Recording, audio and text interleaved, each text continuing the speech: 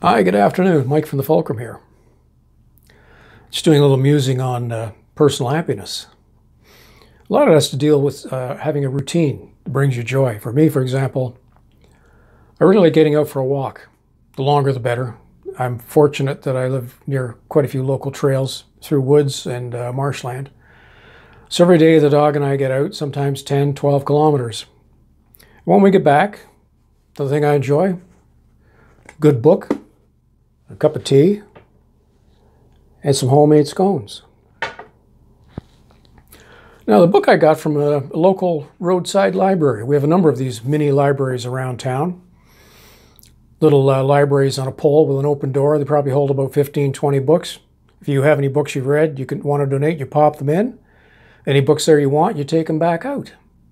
I make the rounds once a week and pick up books of all subjects that interest me I also take time to stop at the local farmers market and uh, local bake shops and cafes. The tea, for example, comes from a local cafe. The scones, purchased at a local bakery.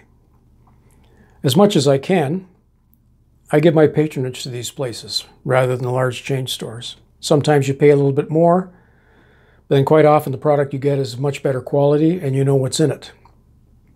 If you happen to read what's in a store-bought scone, it would scare you half to death. This one I know for a fact is just uh, flour, eggs, baking powder, salt, sugar, and fruit. That's it. So it's important that you support your local business people that help make your life better. If any of these things bring you happiness, well, then you should try and maintain them as best you can. Vote with your wallet. That's important so many other ways as well. When it comes to politics, anything going on in your local area. Support those that make your lifestyle comfortable, happy, and worthwhile. The ones that don't, take your business elsewhere. Currently reading a good book called Spark The Revolutionary New Science of Exercise and the Brain.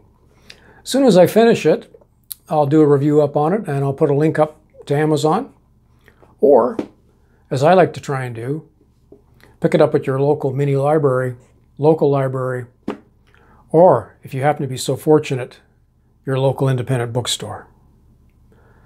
In short, think clearly, breathe deep, enjoy your day. Reward yourself with a good cup of tea and a scone if you need it. Coffee, too. Have a great day. If you like my little videos, please like and subscribe. And please comment if you have any ideas or suggestions for future episodes. I'd like to be an open forum here for just about everything that affects your well being and peace of mind.